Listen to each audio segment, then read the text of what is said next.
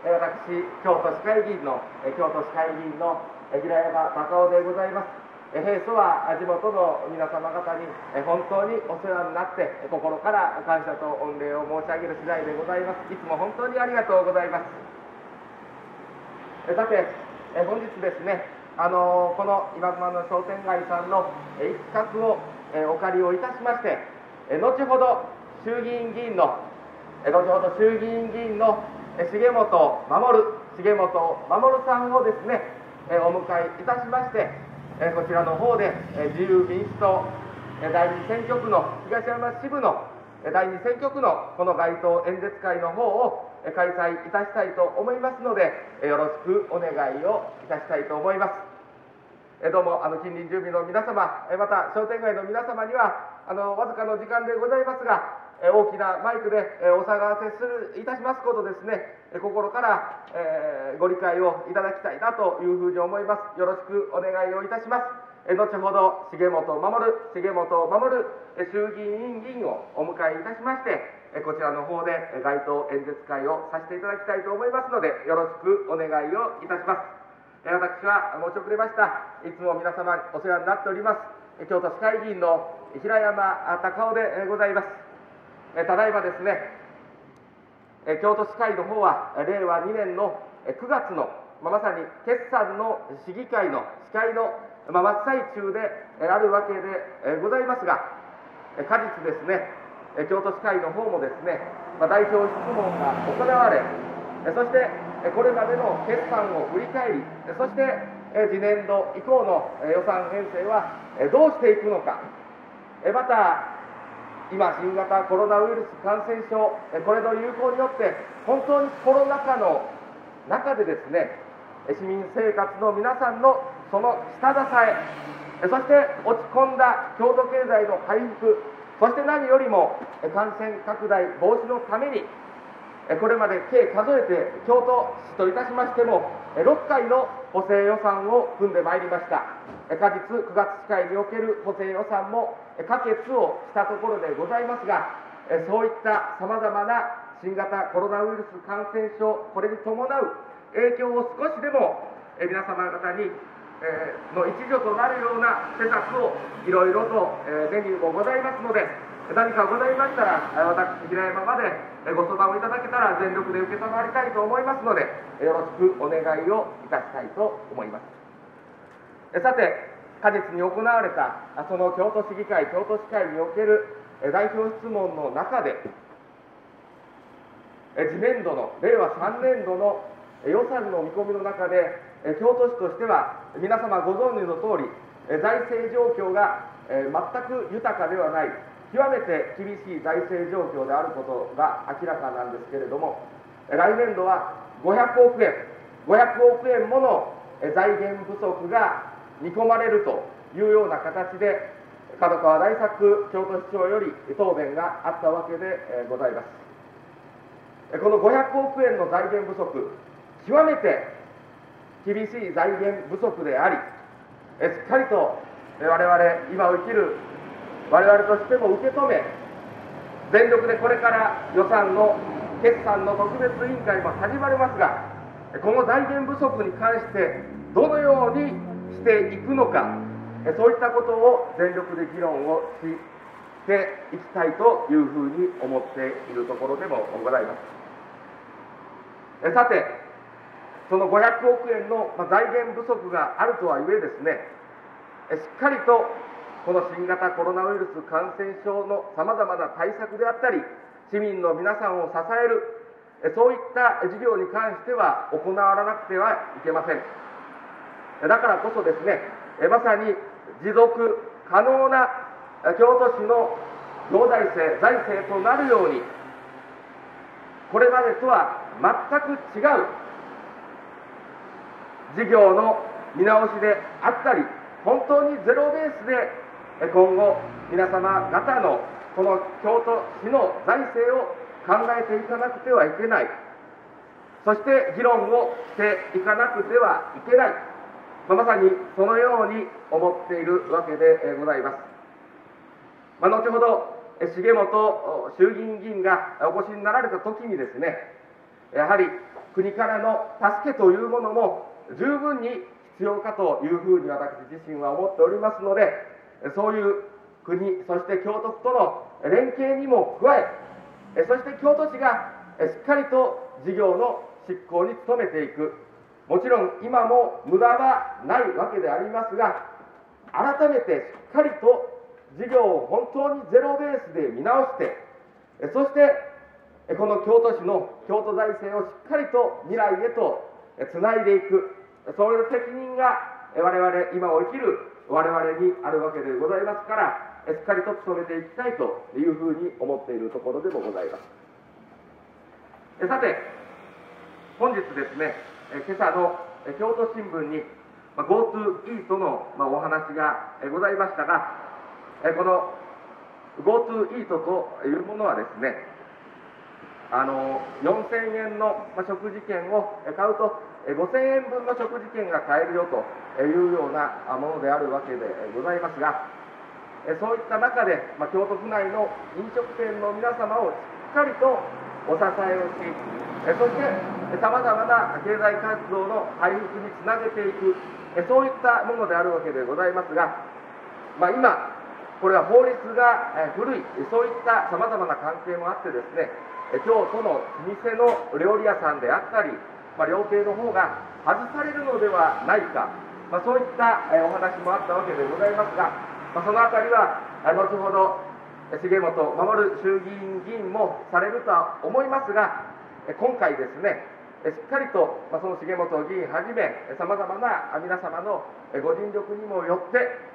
京都の老舗の料理屋さん料亭なんかもしっかりとこの GoTo イートの対象になるんだ、まあ、そういうような形で今朝の京都新聞の報道でもされておりましたしぜひとも皆様方にもご活用をしていただきたい制度でもあると、まあ、そのように思っているわけでもございます、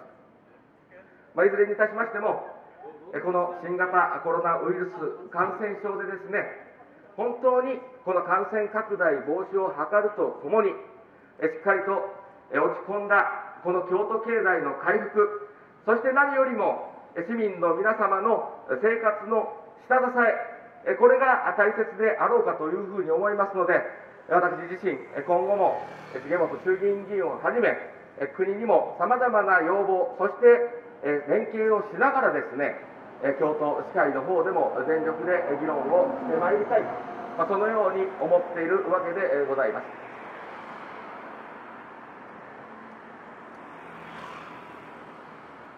さて、本当にこの新型コロナウイルス感染症、これ中国の武漢において、発生をしたわけでございますが、これをしてから本当に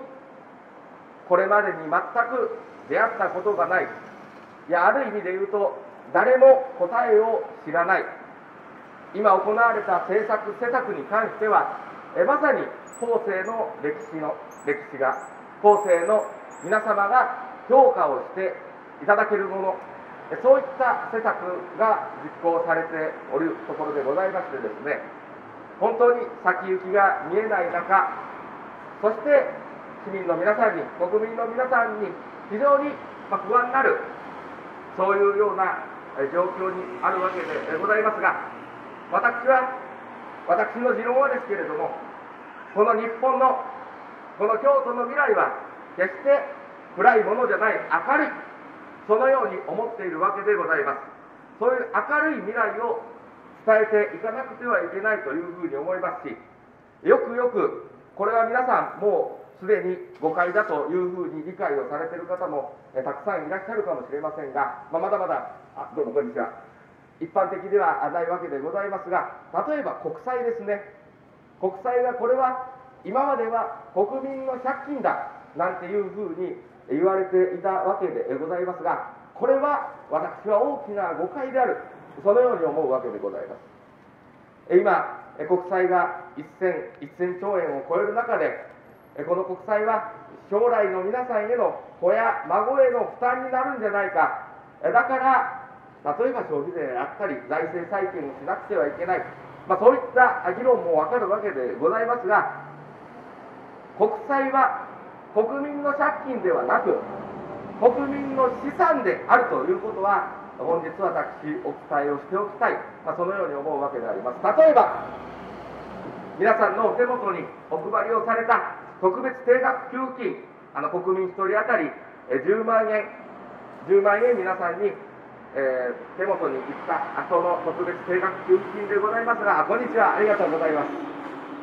この財源は何なのか。税金じゃないんですよ。全額私は赤字国債で行われたそのように聞いているわけでございます。となるとです。となるとです。赤字国債が財源でそしてその国債が皆さんの手元に行く。そうすると国債は国民の借金ではなくて国民の資産である。そういったことが今回のさまざまな施策で明らかになったわけであります。とある経済学者がおっしゃってました。かつて日本の国債の残高がまだ500兆円ほどしかなかった時800兆円にまで日本の国債の残高がいったら我が国の経済は我が国の財政は破綻をする、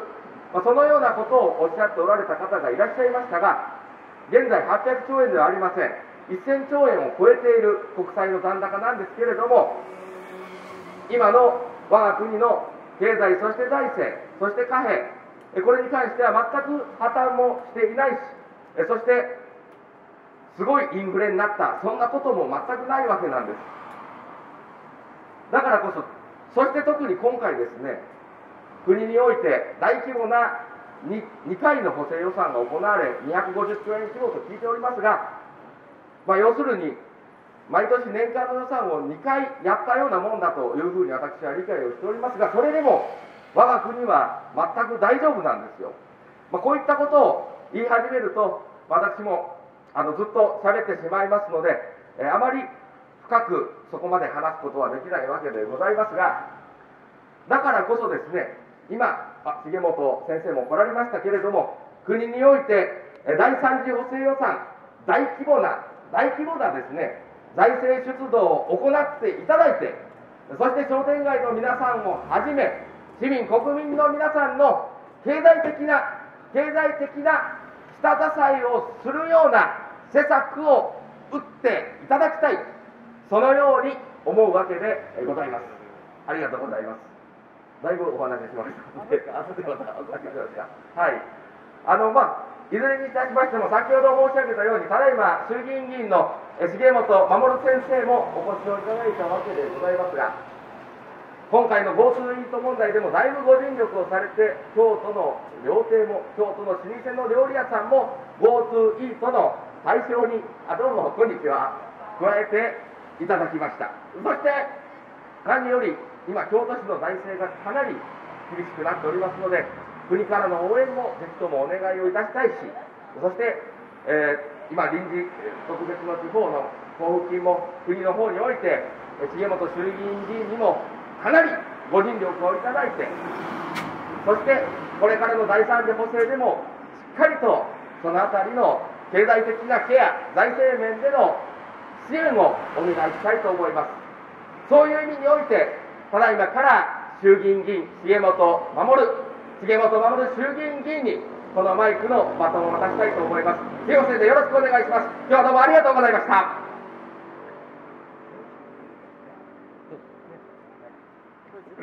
え皆様こんにちは。衆議院議員の重本重本守でございます。今沼の商店街の皆様方今沼のスタッフそして一挙学区の皆様方には常日頃大変お世話になっているところであります、えー、心から感謝申し上げまた先週に引き続きましてこの大きなマイクでお訴えそしてご挨拶をさせていただきますこと私からもお許しを賜りたい。まずもって心からお願い申し上げます。よろしくお願い申し上げます。ありがとうございます。ありがとうございます。さて今しがった、え京都市会代表であります平山高尾先生からですね、まあ、国の財政の問題、おそらく全部は聞けませんでしたが、MMT 理論も絡めた中で、これからの財政の在り方、あるいは金融出動の在り方、まあ、これについてお話があったのではないかと思います。今回の新型コロナウイルス感染症の世界的な蔓延パンデミックによってですね我が国のみならず世界中で有効需要が消えてしまいました。C56 の、まあ、四半期における我が国だけでのこの経済成長率もですね7.8%減であります。1年間に換算いたしますとこれが実質の経済成長率で27.8% 8%減ですね。ありがとうございます。27.8%ってどれぐらいなんだって話でありますが、我が国の、ま実質 GDP、これ国内総生産が大体年間500兆を超えますから、単純にそれに0.25かけてみてください。100兆を超える需要が消えてしまっていると。まあ、こういった計算になりますね。今ちょうど令和3年度の政府の予算、これいよいよ本格的に議論が始まるところでありますが、この桁がですね、大体概算要求ベースで105兆円です。我が国の国民、そして全ての事業者の皆様方が一生懸命働いて納めていただいた税金でもって、まあ、国家の予算を、ま、借金も含めて組んでいくわけでありますが、その規模が大体105兆と今言われております。まあ、それよりも超えるですね、大きな需要が超えてしまった。我が国の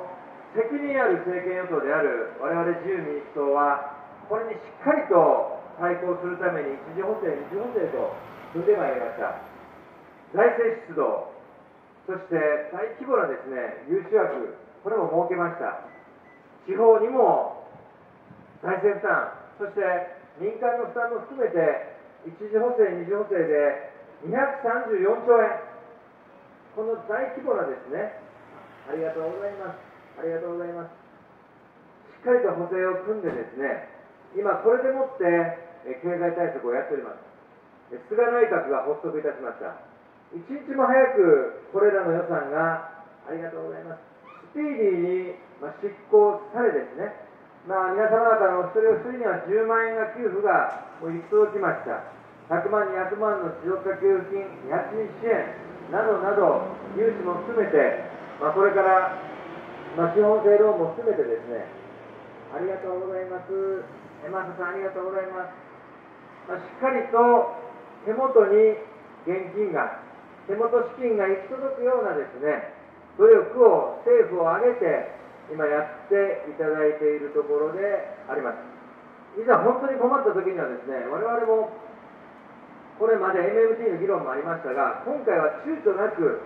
国債を発行しました。これしかなかったんです。今、政府が有効事業を作らなければ、そして財政出動しなければ、いつするんだということであります。えそういった思いで、え今回の有効事業を作り上げるための大胆なですね、躊躇なき財政出動をやりましたので、なんとか血が流れるのを止めて、皆さんの雇用と生活を守る、これはと自民党しかできません。責任与党自由民主党がですね、まあ、しっかりとこれからも補正予算の執行状況と、それによる経済の回復の度合いを見極めながらですね、10月26日から始まります臨時国会において、第3次補正予算の議論もおそらく、これまだ政府から正式に各省庁に3次補正の指示は出てませんが、これがおそらく議論なされると思います。1時、2時、そして予備費がまだ使い切ってませんが、足りない部分ですね、あるいは毎年毎年、この時期に補正予算を組み立てて、しっかりと前に進めていかなければならない政策もさまざまあります。例えば浄水なんかそうですね、あの廃棄物処理関係予算もそうですし、あのしっかりとですね、えー、事業を前に進めるための三次補正、そしていよいよ令和3年度の当初予算の議論も始まってます。当初予算。これ、この議論においてはですね、こんにちは、ありがとうございます。いつもすみません。105兆円と先ほど申し上げました。105兆円と先ほど申し上げました、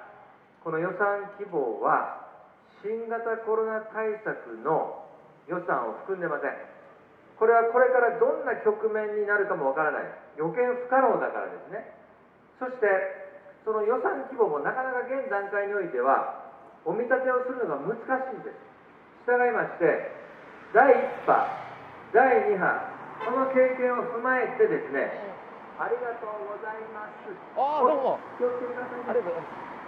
ありがとうございますはいありがとうございます。お車の中から力強い応援賜りました。ありがとうございました。第第2波の経験を踏まえてこれから次なる波もあるかもしれない。だけどその時にどういったですねまた蔓延の状況になるかもわからない。未知のことが多いんですね。したがって第1波第2波の教訓を踏まえてやんなくちゃいけない対策をお金の規模は示さないんだけれども事項要求といって項目だけ上げておきましょうというようなですね令和3年度の予算要求を今やってます。おそらく事項要求だけで数兆円規模になると思います。この段においても我々自由民主党は必要な予算はですねしっかりと確保します。財政出動もいとわない。躊躇なくですね必要な予算を手当てしてですね経済開発において菅内閣は全力でやっています。さてここでねいろいろな工夫が必要になってくるんですね。いろいろな工夫が。財政財政だけでもですねなかなかうまくいかないところがあります。ちょっとですね私が平山隆夫先生とこの地域のローカルの公約として掲げている今熊野の新しい駅のことも我々諦めてないんですね。しっかりと民事でもって何もですね駅を作ってその運賃収入だけで全部を賄おうといったことを考えてはこれ前に進まない、ね、魅力ある民間投資を呼び込めるパッケージとしてのプロジェクトを組んでですね民間の資本も大いに活用しながらこの今熊の商店街に新しい玄関口を作っていこうとするのが私重本守とそして平山隆夫先生の考え方であります。で実は同じようなことをですね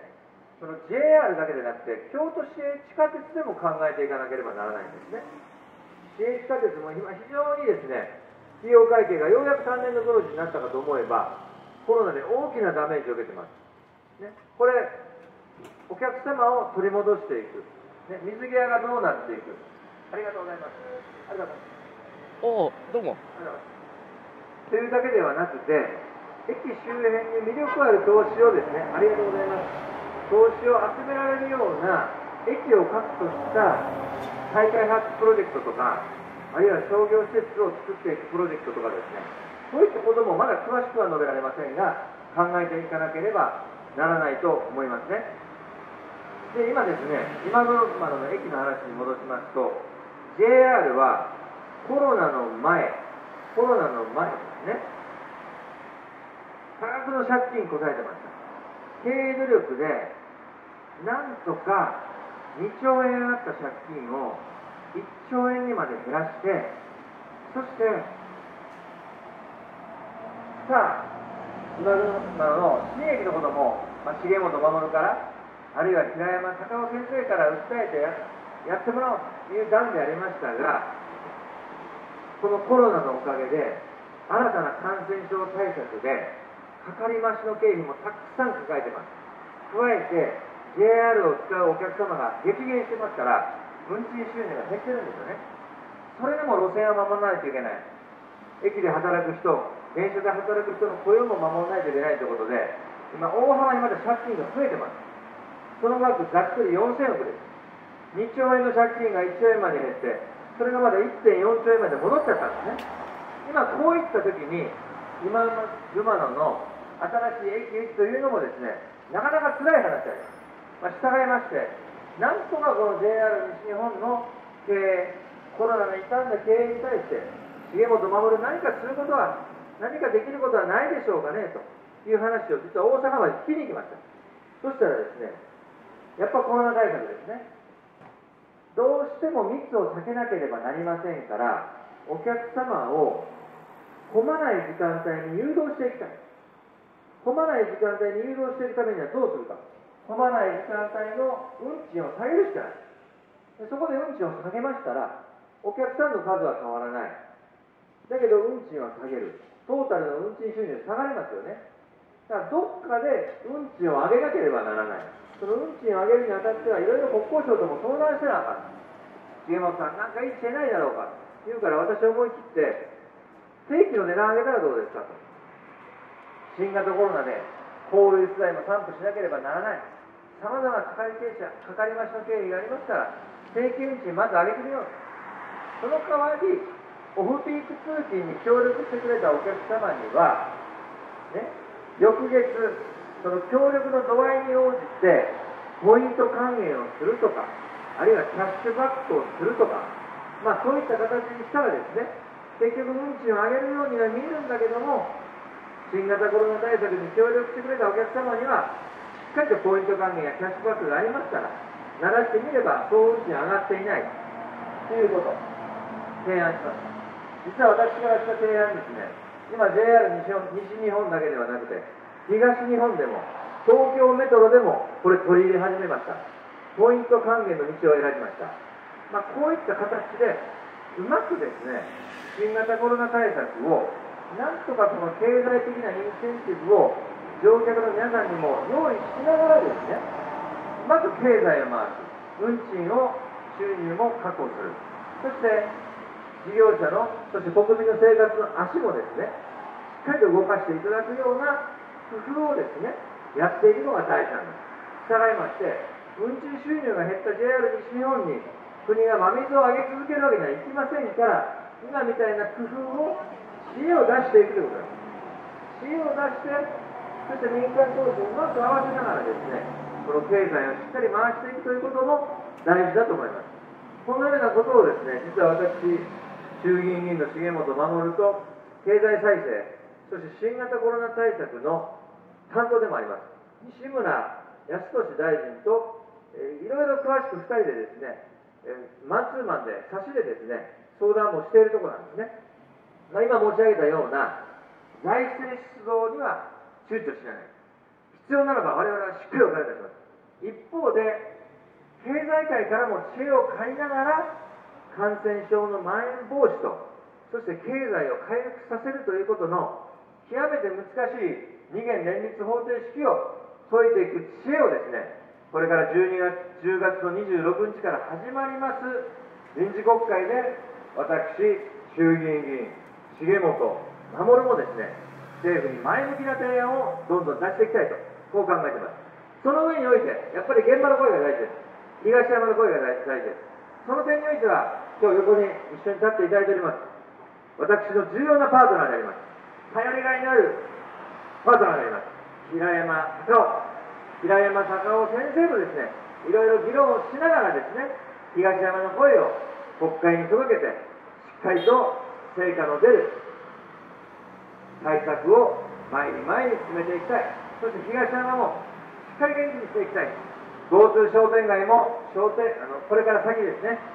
GoTo トラベル、GoTo イート、GoTo イベント、そして GoTo 商店街とございますんで、えー、平山先生からしっかり今熊の商店街の声をいただきながら、重本を守る、しっかりと汗をかいてまいる次第でございます。